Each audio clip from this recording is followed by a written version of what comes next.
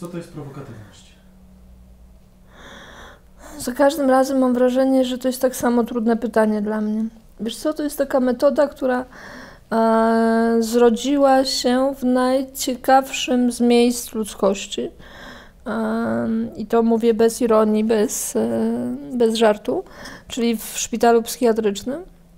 E, powstała pod okiem niejako i, przy wsparciu Karola Rogersa, czyli twórcy terapii skoncentrowanej na kliencie, bądź jak niektórzy wolą e, nazywać na pacjencie. Stworzona przez Franka Farellego, który pracując z pacjentami różnego typu, od depresyjnych przez nerwicowo-lękowych, schizofrenicznych, katatonicznych i jak to któryś z psychologów powiedział, i z wszystkimi, których możesz sobie wyobrazić w ogrodzie zwanym psychiatrią, zaczął zauważać, które z jego interwencji i jakie z jego działań, jak oddziałują na pacjentów.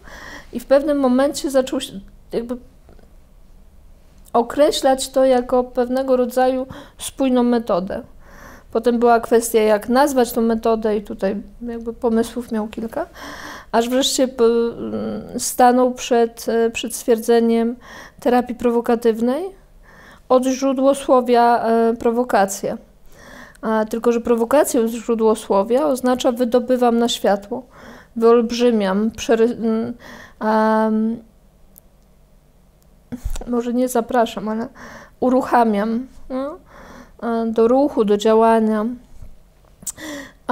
I, I w prowokatywności gdzieś y, są zaszyte takie trzy główne komponenty. Jeden komponent, który jest bardzo mocno związany i określony przez Franka jako życzliwość. To jest ten obszar, e, który moim zdaniem mocno wypływa z, z terapii na, e, nastawionej na pacjenta, gdzie jest duże, duże skupienie na kliencie, duży szacunek do niego w tym miejscu rzeczywistości, w której jest. I nie jest to tylko i wyłącznie deklaratywne, tylko takie osadzone w serduchu, nazwijmy to tak. A tutaj jest akceptacja dla jego inności i różnorodności, tutaj jest akceptacja dla jego wolnej woli. Myślę, że to jest jedno z trudniejszych zadań dla każdego coacha i terapeuty. Zaakceptować, przyjąć i uszanować to, że klient w niektórych momentach ma prawo i może nie chcieć zmiany. Może wybrać to, że, przepraszam za wyrażenie, chce pozostać w dupie. I zadaniem jakby w prowokatywności jest pokazać mu w, w przerysowaniu, w dużym szacunku do niego, w przerysowaniu i w absurdzie całą mechanikę tego, co sobie stworzył w swoich e, schematach myślenia, działania, w jego takim, e, nazwijmy to, zatrzetrzewieniu na tych elementach rzeczywistości bądź myślenia, które w danym momencie są takim dla niego Mm, obszarem, y, nazwijmy to, wyzwania, trudności, problemu. Tu mieści się też wiara w to, że człowiek w swej y, istocie jest silny. Czasami y, oddziela się od swojej e, siły, na to czasami pozwala, żeby została ona oddzielona, natomiast jest on jak najbardziej E, takim e, istotą, która, e, która jest silna. To nie, nie umiem inaczej określić. I w tym komponencie też mieści się coś, co można nazwać empatią. Mm, empatią i taką jakby mm, byciem emoc- jakby z emocjami te, tej osoby. Drugi komponent jest komponentem humoru. I tu mieści się absurd, tu się mieści praca ciałem, tu się mieści praca yy, yy, improwizacją, tu się mieści ciała, yy, praca groteską, tu się mieści praca na żarcie, ale nie po to, żeby rozbawić klienta, tylko zaprosić go niejako do uśmiechu z rzeczywistości, w której jest, albo z samego siebie. Tu, y, tu siedzi Charlie Chaplin, który przerysowywał naszą mechanikę, nasze, e, nasze fiksacje takie czysto ludzkie. Nie? nie po to, żeby e, ośmieszyć, tylko obśmiać to, co może w jakiś sposób nas blokować lub pokazać nam humor w rzeczywistości i w miejscu tu i teraz. Ponieważ humor pozwala głowie, mózgowi, jak, woli, jak wolisz, e, nabrać więcej powietrza, a więcej powietrza w głowie pozwala dostrzegać więcej możliwości, które są i we mnie, i dookoła mnie. I trzeci komponent w oryginalnym przekazie e, oznacza prowokację. Tylko tak jak już mówiłam, prowokację jako u źródła słowia oznacza wydobywam na światło, uwypuklam, uruchamiam, wyzwalam. Czyli nie jest prowokacją taką, jak większość Polaków y, y, myśli, która jakby ta prowokacja w prowokatywności nie służy temu, który prowokuje, tylko jest niczym innym jak zaproszeniem osoby do jakiegokolwiek ruchu. A tutaj mieści się ruch, tu się mieści determinacja, tu się mieści motywacja, tu się mieści wyzwanie.